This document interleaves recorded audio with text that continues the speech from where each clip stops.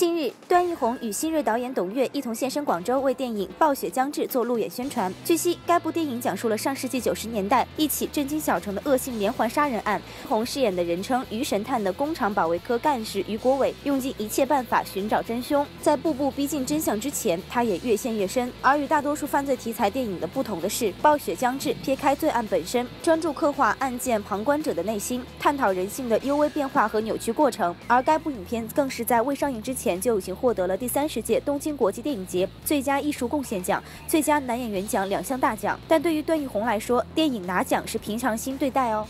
所以我不说了吗？我有点恍惚，又怕下雨下下雪，假的呢。嗯，我今天还跟导演在聊这个事儿。嗯，可能这个现在的大众媒体或者是观众。更关注的是这个奖，那个奖，呃，固然好。其实这如果真正去关注这部电影，想讲的是啥，说的是啥，我觉得可能更是我们作为创作者的一个最实在的、最初的一种一个一个动力和力量啊。我我不相信，当然可能也有啊，反正我不相信，好像电影工作者。从剧本开始写就奔着那个奖去了，我得报一个啥奖？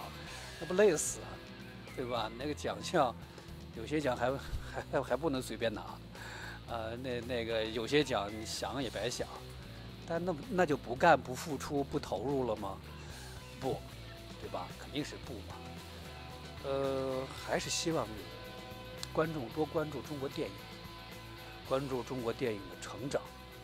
呃，对于我们年轻的演员、年轻的导演，其实这样的结果，呃，是有激励的力量。但是我们容易往往忽略了我们创作的。